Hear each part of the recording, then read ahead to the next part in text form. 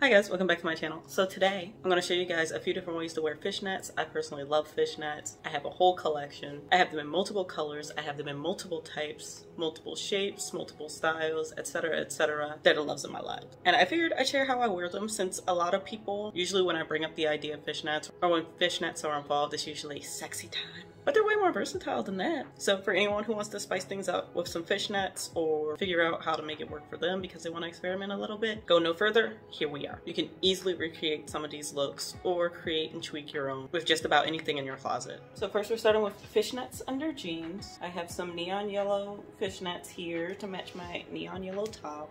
See, it's just the small things that can add just a little bit of spice to an outfit. So this is good for people who don't want to show too much skin, but they still want to play around with it. So it gives you an edgier vibe and it's still visible, but you're not naked. So granted, this is not the best outfit, but don't focus on that. Focus on these. So another way to wear fishnets, especially if you're uncomfortable showing too much leg, is wear them over tights. Uh, if you wear them over tights, you can wear all the colored ones because a lot of people will actually think that the tights that you're wearing them over are leggings. So they'll just assume that you're wearing leggings when in reality, you're just layered up. This is what it looks like close up. You can see they just look like really textured leggings. I like the mermaid fish scale ones going around, but it's definitely not that. And also if you have runs or holes in it, it doesn't matter because it actually just looks like it was designed that way unless it's like ripped up all crazy in which case mm, I don't know how you're gonna justify that. But if it's not too ridiculous you can definitely still pull off bruised and battered fishnets. Personally I think this look looks best under shorts or like a dress so that way they can't see the waistband but your choice I mean it's your life.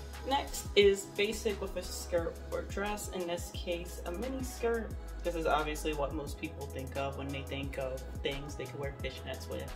You know, it's a little scandalous. But it also looks really nice. It's just a little too sexy for some people. But a tried and true classic you can't go wrong with. And here we go again with another basic but also classic way to wear fishnets under shorts considered less trashy than wearing fishnets under a skirt. I guess because you don't feel the breeze. The basically same thing. Just add a little bit of edge to whatever shorts you're wearing. Because in this case, they are highly unnecessary, but we still got them there. And last but not least, under a sweater or an oversized t-shirt. I know it's similar to a dress, but technically it's not.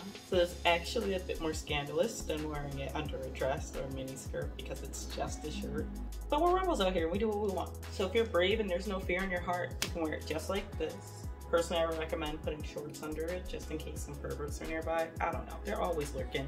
And you would wear them just like you would wear leggings, except they're not. They spicy. And those are just a few ways that I personally like to wear my fishnets. So hopefully this was able to help you guys out. And with that, I'll catch you in the next one. Bye guys.